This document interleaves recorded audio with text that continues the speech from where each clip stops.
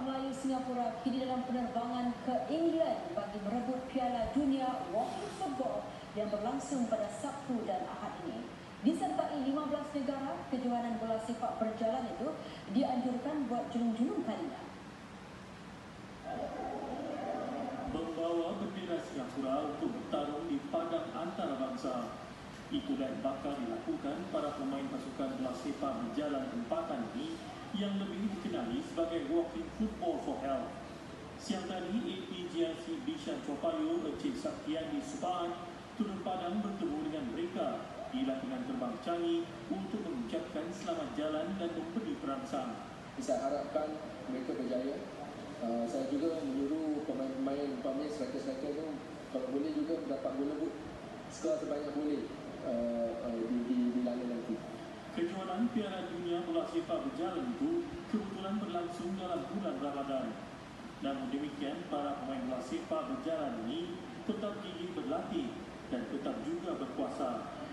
Manakala tidak, mereka perlu memastikan persiapan yang sebaik mungkin kerana perlu menghadapi pasukan dari negara-negara gegasi bola sepak seperti England dan Itali. Di London, walking football ni sudah, mereka sudah ada league dah ada league ha, jadi kita di sini baru bermula kan? Ha, jadi peluang kita tu mungkin kita akan cuba lah.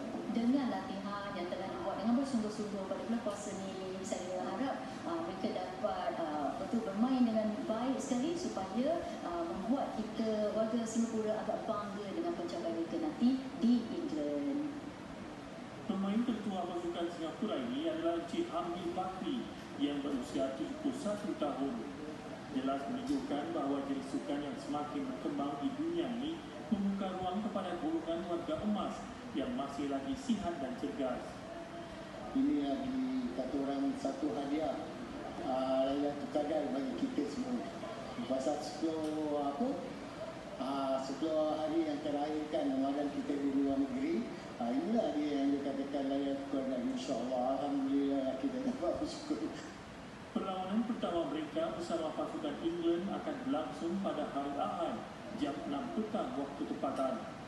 Pasukan ini akan pulang ke tanah air sehari sebelum Aidilfitri.